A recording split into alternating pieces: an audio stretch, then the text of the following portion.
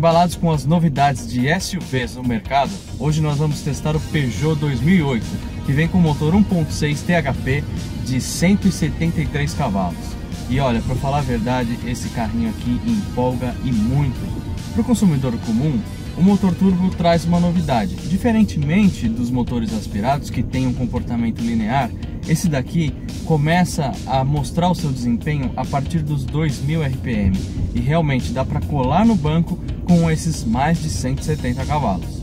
Esse modelo, com câmbio manual de 6 marchas, é muito divertido de guiar, principalmente por conta desse volante com menor raio, que dá um toque de esportividade para o modelo, apesar dele ser um SUV familiar. Mas o que a Peugeot ainda peca é com esse painel muito avançado, que tem os números um pouco reduzidos, que pode atrapalhar a visibilidade do motorista, e também porque às vezes é difícil encontrar a melhor posição de dirigir.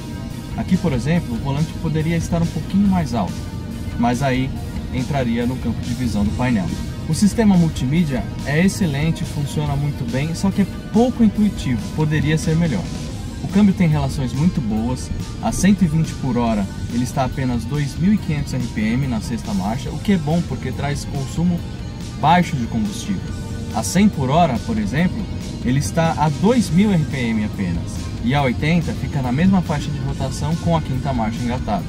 O legal aqui nesse modelo 1.6 é que é possível escolher o terreno em que você está andando. Então aqui, por exemplo, estou no asfalto, eu seleciono aqui o melhor modo de condução.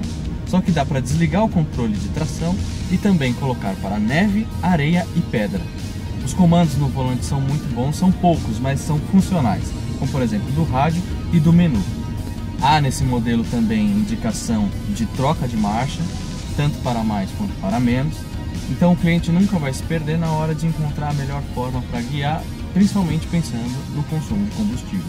O carro é muito bonito por dentro, existem detalhes cromados no volante, na manopla do câmbio, na porta e até mesmo por fora ele tem muito requinte. Os bancos são parcialmente revestidos em couro, há ar-condicionado, direção elétrica, acendimento automático dos faróis e acionamento automático dos limpadores de para-brisa. Mas agora, vamos ver como esse carro se saiu na oficina. Nós levamos o 2008 na oficina Motor Up, no bairro do Itaim Bibi, em São Paulo.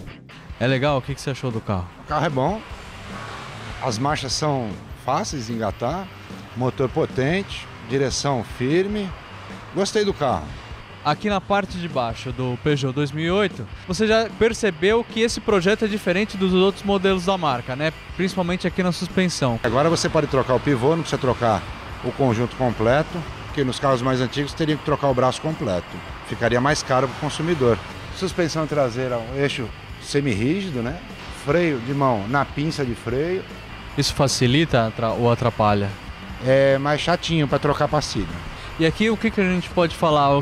Tem algum problema aqui evidente? O espaço para mexer? O que, que você acha? Uma troca de óleo, troca de filtro? Ah, normal, nada de excepcional. Fácil trocar o óleo. Com esse tipo de protetor aqui não precisa nem tirar o protetor, porque aqui na nossa loja a gente tira o protetor de cárter para trocar o óleo para não sujar. Nesse caso aqui nem, nem é necessário. E tá de fácil acesso, né, fácil, com esse aqui. Fácil. E o sistema de escapamento? É, o catalisador é junto com o coletor, temos um flexível aqui para tirar a vibração, mas esse carro tem um ano? Não, não tem nem um ano. Olha o escapamento, olha o estado, todo enferrujado, tá vendo? E aqui a gente tem a proteção para o filtro de combustível, né? Isso. É, para trocar é... o filtro teria que tirar essa proteção aqui para fazer a troca do filtro. Fez as notas aqui do nosso Peugeot 2008 já ficou com 1 ponto. Bom, aqui deu para ver que você deu boas notas para o projeto do carro em si, mas para informações técnicas, peças de reposição e relacionamento com a rede de concessionários não é muito bom para o reparador, né? É verdade. Se não fosse isso, o carro seria mais uma melhor compra.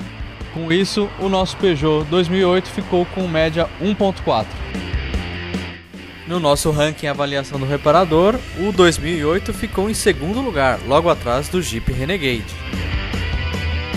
E não perca, semana que vem nós avaliaremos o Honda HRV. Será que ele vai ultrapassar os seus concorrentes? E se você gostou do vídeo, se inscreva agora no canal.